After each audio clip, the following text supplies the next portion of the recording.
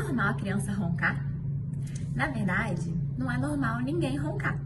O ronco significa que o ar que está entrando pelo nosso nariz e percorrendo nossa via superior está encontrando alguma dificuldade, alguma resistência para chegar até os nossos pulmões. O ronco pode ser tratado e deve ser investigado em qualquer idade, já que pode ser sinal de uma doença chamada apneia obstrutiva do sono. Você sabia que a apneia obstrutiva do sono também pode acometer crianças? Uma peculiaridade da apneia do sono nas crianças é que, ao contrário do adulto apneico, que fica muito sonolento, cansado, dormindo em qualquer canto durante o dia, a criança, depois de uma noite mal dormida, fica agitada, desatenta, e isso pode trazer até prejuízo no aprendizado. As principais causas da apneia do sono na infância são anatômicas.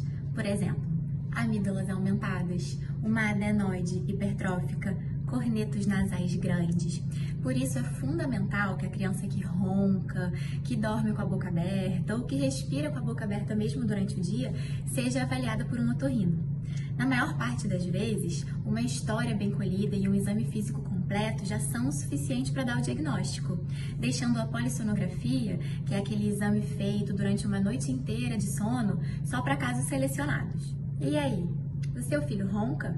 Procure um médico do sono, teremos o maior prazer em atendê-lo.